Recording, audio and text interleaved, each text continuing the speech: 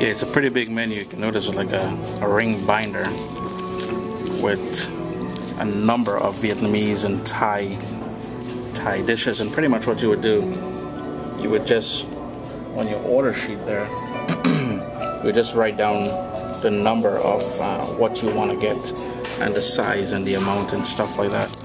But the food here, from past experience, is really good. Just thought I'd show you guys the actual menu pages and pages. Well, so far we have 525. I'm hoping that's not how many items are in here, but oh boy, look at that.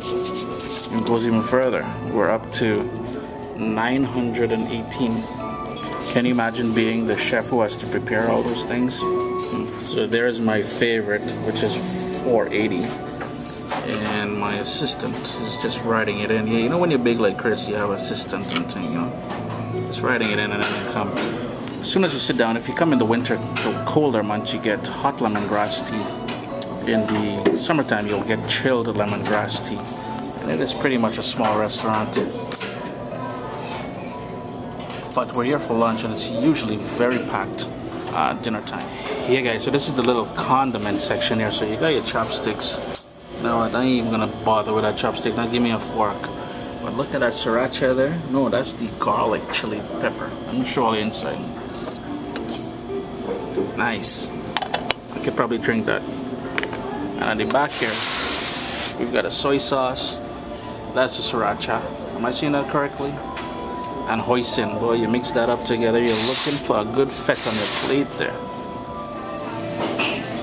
So Karen is just putting on her fresh lime juice on there. She got the traditional pad thai, chicken pad thai, and I believe she orders extra peanuts. You gotta get that. It's all about texture and taste as well, but she doesn't do the shrimp thing, so the shrimp is on the side, so you know who's gonna be enjoying that shrimp. Remember, the pad thai comes with onions, so if you don't indulge in the onions, what she usually does is get it on the top there, or, uh, so you can move it aside or order it without the onions. So here's Karen's quick tip. What she's doing, she's mixing in the onions into the pad thai.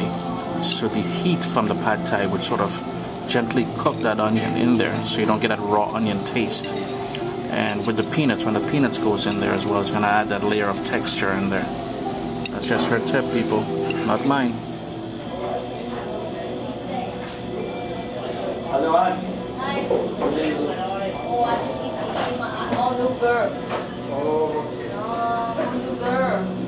All new. Yeah, so I have the sort of stir-fried beef. There's some there's ginger in there, and there's that. Well, it's not exactly sticky rice, but it's white rice with that pickled carrots. We got some sweet peppers, some onions. Back here we got some shrimp. Got a lovely sort of dipping sauce to go in there as well.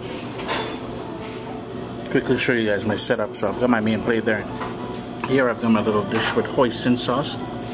We've got that chili garlic sauce, very fiery. And I will go in with some sriracha on top. Yeah, so I kind of destroyed my plate. See, that was very hungry or compliments to the chef, whichever you want to take it. The portions are big, so you can see Karen left back some of hers. The thing is, you just got to tell them and they'll wrap it up for you to take home. These two, well, what was here as well as that, and a bottle of water. It'll be about $20 plus tax, so it's very affordable. Hey guys, just had lunch over at Pho Dau Bo, Vietnamese slash Thai food. Some final thoughts. Um, if you're looking for one-on-one -on -one service, you're not gonna get it here. Remember, the prices are very cheap, and um, the serving staff, though they seem unfriendly, they're not. It's just as just the I'm guessing that's part of their culture. Um, the food is relatively cheap. It is good food, a little bit salty at times, but other than that, good stuff.